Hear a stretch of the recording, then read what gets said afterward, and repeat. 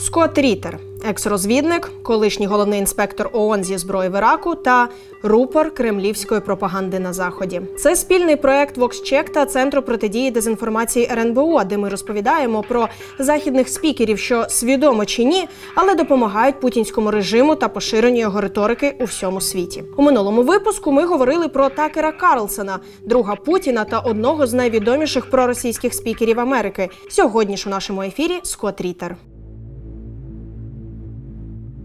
Рітер регулярно пише для російської державної англомовної медіакомпанії Russia Today, а також завжди є бажаним гостем у пропагандиста Соловйова на його шоу Соловйов Live. Окрім цього, Рітер активно дає інтерв'ю як військовий експерт для американських ютуб каналів, як от US Tour of Duty, Judging Freedom, The Red Pill Diaries, Redacted та інші. А нещодавно Рітер розпочав тур Росією зі своєю новою книгою Роззброєння в часи перебудови та презентував її у Казані, Іркутську та Єкатеринбурзі. Книга як він стверджує, має попередити громадськість про те, щоб США не прагнули до ескалації з Росією, яка нібито може призвести до ядерної атаки, і наполягає, що західна громадськість нібито вже забула, як важко було досягти цих домовленостей. Впізнаєте цей наратив? Так, так, нібито Росію спровокував і продовжує провокувати Захід. Десь ми вже це чули. Ну так, у всіх пропагандистських змі, телеграм-каналах, блогах, щонайменше з 24 лютого минулого року. Утім, книга та численні інтерв'ю не єдині платформи для фейків від Скотта Рітера. Часто пропагандисти посилаються саме на його твіттер. І погодьтеся, може в Україні твіттер і не зовсім популярний, але на заході то є велика сила. Отож, з початку повномасштабного вторгнення Росії в Україну західний експерт активно поширював проросійські наративи саме у Твіттері. Проте навіть програмне терпіння є невичерпним, тому сторінка Скотта Рітера згодом була заблокована. Однак, вже після купівлі соцмережі Ілоном Маском Рітер пробував своєрідно протестувати алгоритми і написав: Я повернувся. Тест Буча була військовим злочином. Україна це зробила. Тест. Ну звісно, саме так соцмережі і працюють. Мета публікації зовсім не перевірка реакції платформи на неправильну думку, як це вказав Рітер. Насправді такий твіт був черговим маніпулятивним вкидом та свідомою провокацією для визначення можливих змін в реакції західного суспільства на тему російського геноциду в Україні. На жаль, Твіттер подібну перевірку пройшов, що дозволило Скоту Рітеру продовжити використання цієї платформи.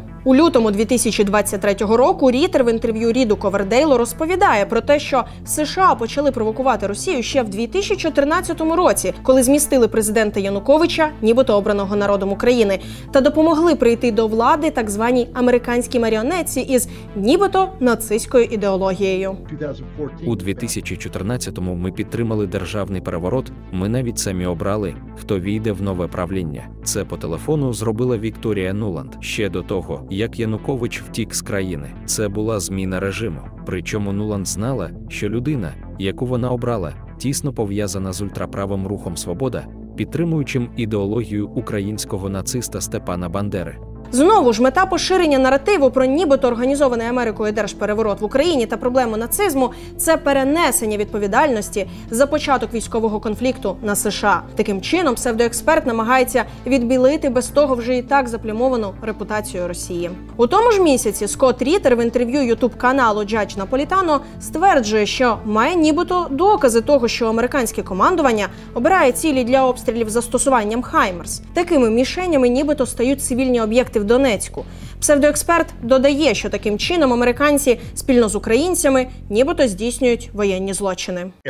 Кожна ціль, яку поцілює Хаймарс, обирається штатами. Це означає, що там є цілий ланцюжок командування, одягненого в американську уніформу. І ось парадокс: Хаймарси використовують для атаки лікарень, шкіл, цивільних будівель, що означає, що коли американські військові обирають цілі, вони здійснюють військовий злочин.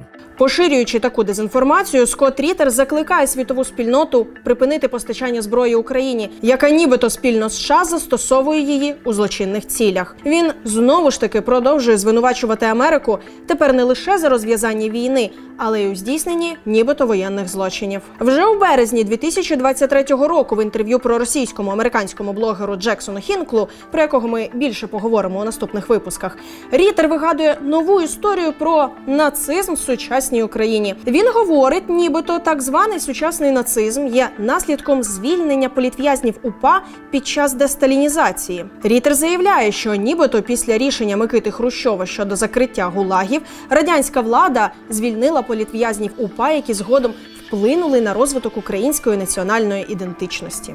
В процесі він звільнив цих політичних в'язнів, цих бандерівців, цих нацистів, цих жахливих людей, які не були перевиховані.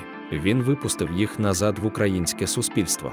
Колишні в'язні інфільтрувалися в українську політичну систему. Вони почали контролювати їхні голови, розвиток формування української національної ідентичності. Вони почали контролювати їхні голови, розвиток формування української національної ідентичності. За радянських часів це були люди, які таємно ненавиділи росіян, радянський союз, але зараз воюємо з об'єктами радянської відповідальності. Через це ми маємо зараженими українців сьогодні, і росіяни, дивлячись на це, кажуть ніколи знову. Наступного разу, коли ми будемо проводити денацифікацію, нацисти не повернуться. А у квітні 2023 року Скотт Рітер в інтерв'ю ютуб каналу Redacted пророкує поразку України на полі бою. А долю президента України він коментує так: найімовірніше на Зеленського чекає смерть, смерть від рук українців, які проти нього повстануть. Адже він став втіленням того тотального колапсу українського суспільства, який наразі спостерігається. Західний псевдоексперт звинувачує президента України в початку повномасштабного вторгнення. Таким чином він намагається застосувати підміну понять і перенести статус засудженого міжнародним кримінальним судом зі свого ідола Путіна на президента країни, яка чинить опір окупантам. Зовсім нещодавно, у травні, Скотт Рітер в інтерв'ю ютуб каналу Yes Tour of Duty заявляє. Дмитрій М. Єдведєв натякає на те, щоб віддати захід України Польщі. У квітні 2005 року Путін говорив про те, щоб володіти всіма російськими землями, а захід України до них не відноситься, бо немає нічого спільного з іншими регіонами, вони ненавидять одні одних. Якщо забрати захід України, то між Україною та Росією буде мир. Чому? Тому що вони один народ. Цілковито імперські наративи. Тобто, за версією Рітера, мир та кінець війни, нібито лише у воз'єднанні України та Росії. Що ж, і цей шедевр це ще не все. Після подій 24 червня у Росії американський експерт Скотт Трітер заявляє, що так званий марш справедливості Пригожина був співпрацею ПВК Вагнер, української розвідки та заходу. А сам Пригожин виконує завдання іноземних спецслужб. Це узгоджені зусилля Вагнера, української розвідки та їхніх західних спонсорів, зокрема британців, спрямовані на досягнення того, чого вони завжди прагнули, що вони називають моментом московського майдану. Похвала їм. Вони завербували Пригожина. Я не сумніваюся, що Євген Пригожин працює на іноземні спецслужби, виконуючи їхнє завдання. Це завдання полягає в тому, щоб розвалити уряд Володимира Путіна.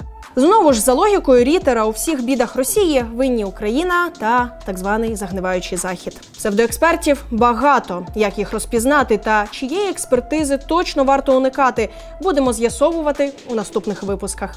Залишайтеся із нами.